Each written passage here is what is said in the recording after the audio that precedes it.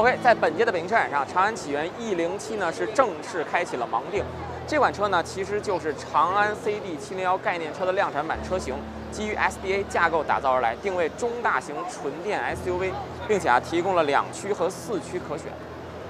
还有一个很有意思的点啊，就是这台车呢可以自由的切换 SUV 和皮卡，是不是挺有意思的？从设计上看啊，前脸呢使用了一个非常简约的一个设计风格，并且啊所有的视觉重心呢几乎都会落在这个狭长的灯带上面。OK，来到了车身侧面啊，车长五千零四十五毫米，轴距呢是三千一百二十毫米，很标准的一个中大型 SUV 的一个尺寸啊。它呢是采用了一个悬浮式的一个车顶设计，车顶从前至后呢是有一个向下探的这么一个造型。酷配的车尾造型呢也是比较符合现在的一个主流的设计风格的。OK，来到车尾啊，它的这个环状的尾灯呢是和车头那个有灯语功能的灯带呢是相呼应的，并且啊这台车看上去呢是确实有那么一点国产 Cybertruck 的那么意思啊。还有呢，就是我刚刚介绍的这个比较好玩的点了。如果你将这个前排座椅放倒的话，它呢是可以和这个后排连成一个类似于双双人床那么一个感觉。然后呢，你将后排座椅放倒，并且啊，然后打开这个车的一个上挡板的话，它会形成一个小露台。这个话，你如果在郊游或者露营的时候呢，躺在上面还是非常非常惬意的。所以说，它的这个可变性呢是非常非常强的。这个呢，也是年轻人一种新的对于生活打开方式的一种，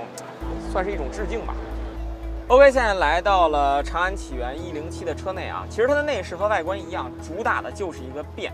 怎么变呢？首先就是这块悬浮式的液晶屏了，它是真的悬浮式液晶屏啊，它可以根据这个用户的一个实际的需求去调整角度，可以对着驾驶员一侧，也可以对着这个副驾一侧。而且啊是多档可调的，还有呢就是很多的车型呢都会把这个副驾驶的娱乐屏放在手套箱的上面，但是长安启源 E 零七呢是放在这个类似于遮阳板的一个下面，这样的话副驾看的时候呢会角度会更加舒服一些，更好，也不用低着头，有效的保护了颈椎，对不对？除此之外啊，它的内饰整体的风格呢是非常非常简约的，所有多余的东西呢都没有，然后呢中间还配备了一个无线充电的功能，因为毕竟现在。有无线充电功能的手机呢是越来越多，基本上都有了，所以说这个功能呢是非常非常必要的。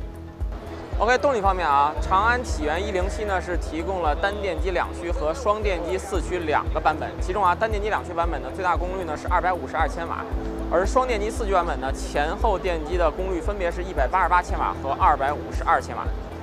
这么一台多变的车，凭借着外观和内饰非常新颖的一些细节的设计呢，不得不说啊。确实是更能满足大家对于差异化的需求，怎么样？对于它，你动心了吗？